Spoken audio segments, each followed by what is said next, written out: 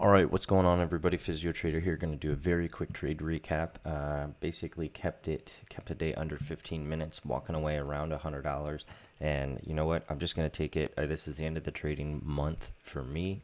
Um, I don't really see much volume going out there. Everything's just real still choppy, uh, or still really choppy. So I'm just going to take the money and walk. So, taking you over to the first trade.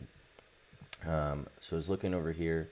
Uh, kind of gave this one away, but on PDD, uh, this is one of those Chinese companies, um, Chinese um, education companies, uh, had quite a big of a gap up. Now looking over on the daily, we have just been falling to pieces, and then today we gap up to basically where this opens.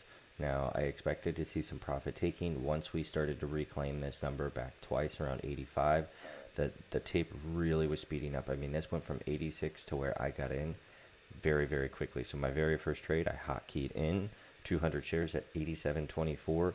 Immediately got out in four seconds, took 34 off. Really should have just took the whole thing. You know, in hindsight, you know the hindsight voice is saying, why did you go in 200 shares, not 2,000? Um, but again, this was moving very very quickly. The the level twos were flying were just absolutely flying. Uh, we got up here, came up. I was waiting for a bigger push, came back down about to here, and then we came right back up, cleaned out, and then at that point, that's when it started to rip a little bit higher, and it came back from there. So just to kind of showcase the rest, um, I think it's just now, yeah. So that's a that's a live candle there. So let's kind of zoom out now. So essentially. Um, I don't know. We might get a double top around here, around 90. Um, but that is the trade over there.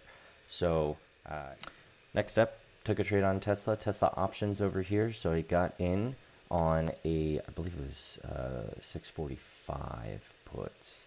Um, yes. So I got in 645 puts. Um, I got my first on this candle right here um, at twelve dollars. So the bid and the ask is at twelve twenty over here, eleven eighty. I basically got the mid price fill. Um, in hindsight, I should have waited a little bit. Uh, you know, at least got more towards the bid because it Lightspeed does get you closer to the bid and the ask when you're trying to get in and out based on what direction you're going. Um, and I mean, it was just a 20 cent move. Uh, threw out an order for 1140 and then um, this thing kind of got stuck around 1160, 1155, went back down to 1170, all on this candle. So all of them were filled on this one candle.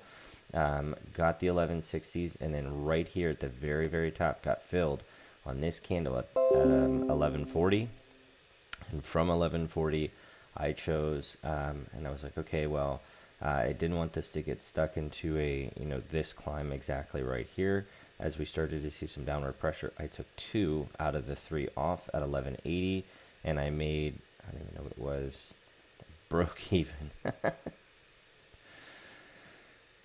that is interesting. So there he goes. I broke even on it, and then the last trade, I just made the, um, basically reduced my risk at this point, got out at 1195. I thought I was getting out at 1210.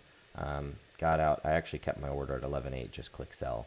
Um, I just went from two to one, just lowered it. So I you know, theoretically threw in a market order, so I can't complain about the fills by any means.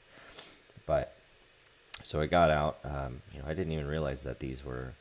I guess it's it, it's good. I'm glad I wasn't you know focusing or watching the P&L. I, I wasn't trying to trade the P&L at all today.